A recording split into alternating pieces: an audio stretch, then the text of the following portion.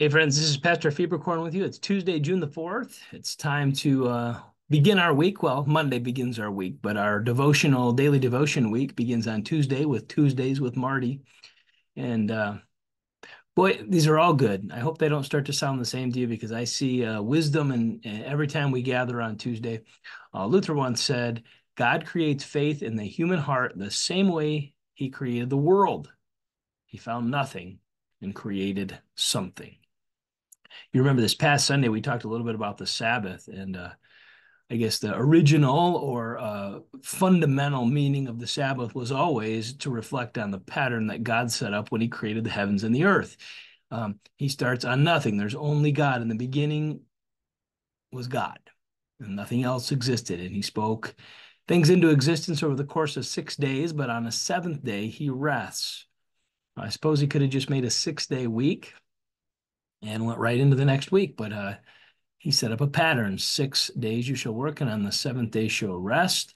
And one of the reasons for that was to reflect on the fact that he created the entire world, that we are his creatures.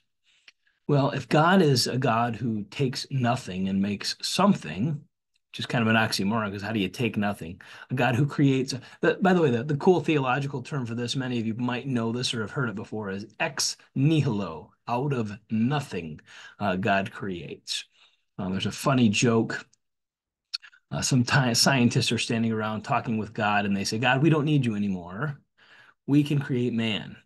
And God says, Oh, yeah, show me. And they go over and get a pile of dirt and they begin to do their experiment where they're going to raise up man from this dirt. And God says, No, no, no. You go get your own dirt. You get it? Right? There was nothing for God to make something from. He just spoke it all into existence. Uh, an evolutionary account would say that existing matter gives rise to what we have today.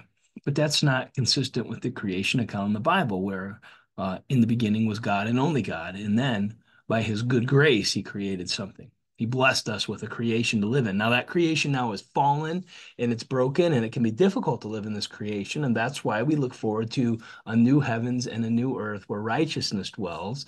Blessed are the meek, Jesus says, because they'll inherit the earth.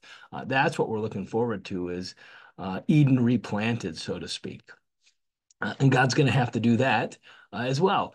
And how do we get there? Through faith.